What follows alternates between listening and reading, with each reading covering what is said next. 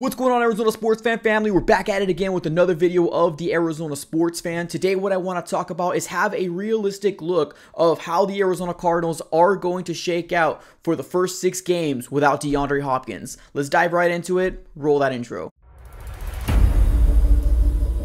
All right, everybody, welcome back in. Now, let's go ahead and get started on how I feel like this is going to shake out. Now, we got six games without DeAndre Hopkins, and obviously, there's a lot of people on the outside looking in thinking that this is going to be a very tough thing for the Arizona Cardinals, especially because we really start off really hot and then we tail off towards the end of the season. But some people are saying, hey, we're not going to start off so hot, but have a strong end to the season. And honestly, I kind of rather prefer it that way. I- I'd rather be like, you know, all right and then be very, very strong towards the end of the season as opposed to what we've been seeing for the past three years under Cliff Kingsbury. But we're gonna look into the the first six games, right? No DeAndre Hopkins, but a lot of people forget we still have a very good wide receiving corps. And that's not even to mention our tight end and Zach Ertz and Maxx Williams and a possibility of Trey McBride. So we still got a lot of weapons, right?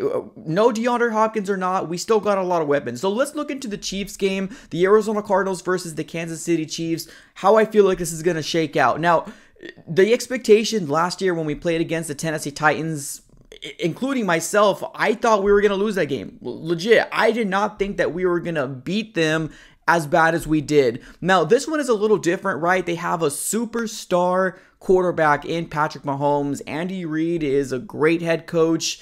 They still have Travis Kelce. But honestly, on the other side of the ball, the only really person that kind of scares me is Chris Jones in the defensive line. So I do feel like the Arizona Cardinals can shock the world and come out with the win. Now I do think it's going to be a shootout for sure. I don't think this is going to be like a complete beatdown at all. I think this is going to be a shootout, but I do think that the Arizona Cardinals can pull the win off here. Um, and it's definitely really, really something that would make me excited because hey, if that happens, a lot of people are going to start looking at the Arizona Cardinals a lot differently. So, 1 0, I have the Arizona Cardinals starting off for the first six games. Now, talking about the Raiders. Now, I know there's a lot of people saying that the Raiders aren't going to be very good, but they added a lot of great pieces this year, right? They got Davante Adams, they got Chandler Jones. I think Chandler Jones is going to, you know, have a great game, or at least he's going to try to do everything in his power to you know, shift the momentum over to the Las Vegas Raiders. Now, this one is a kind of a tough one for me to choose from, um, especially because I want to lean towards the Arizona Cardinals, but I do think that the Raiders might have it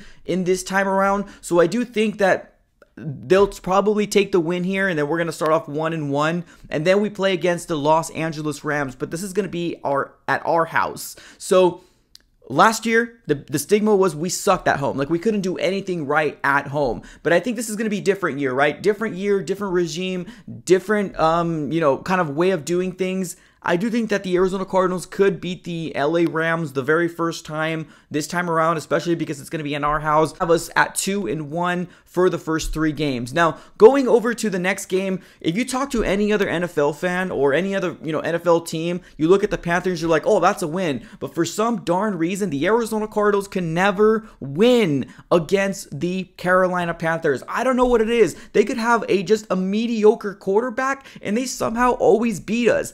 I don't understand. Now they do have Baker Mayfield. Kyler Murray does have Baker Mayfield's number, right? We're all fully aware of that. But I feel like with some magic power, because Baker Mayfield's gonna put on a Panthers uniform, he's gonna have our number. So I think we're gonna be two and two by the end of the four games. And I hate to say it, I really do, but until the Arizona Cardinals can prove that they can beat the Carolina Panthers, I got to choose the Carolina Panthers. So I have us going 2 and 2 going on to the next game. I do think that the Eagles have done very very well this year. Definitely not taking anything away from them. Now Jalen Hurts on the other hand, we've seen him firsthand last year or, it might have been the, the year before when we ended up playing him. I, I like what I've seen from Jalen Hurts. Um, they're getting some weapons, they're getting some defensive pieces on their side, but I still do feel like the Arizona Cardinals do have a slight advantage over what they have over there in terms of weapons. Yes, we're not going to have DeAndre Hopkins, but we still have Marquise. We still have Rondale Moore. We still have AJ Green. We still have a lot of, you know, wide receivers and tight ends. So I think it's going to be a comeback game for Zach Ertz coming into Philly, and he's going to go off, and he's going to be the uh, the difference maker for the Arizona Cardinals. So I have the Arizona Cardinals winning there as well, and that's going to put us at three and two above 500. So I'm breathing happy. I'm excited. And now looking at the Seattle Seahawks. I mean, do we really need to talk about the Seattle Seahawks? They're going through some things over there in Seattle. They're completely in a rebuild mode. They're scrapping everything. I wouldn't be surprised if Pete Carroll goes away and gets fired by the end of this year. So I'm not going to really talk too much about this. The Seattle Seahawks are probably going to go